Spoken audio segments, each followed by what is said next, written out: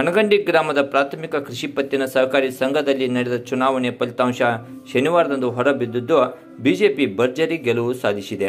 ಹನ್ನೆರಡು ಸ್ಥಾನಗಳ ಪೈಕಿ ಬಿಜೆಪಿ ಪರ ಏಳು ಸದಸ್ಯರು ಗೆಲುವು ಸಾಧಿಸಿದ್ದು, ವಿಜಯೋತ್ಸವವನ್ನು ಆಚರಿಸಿಕೊಂಡಿದ್ದಾರೆ.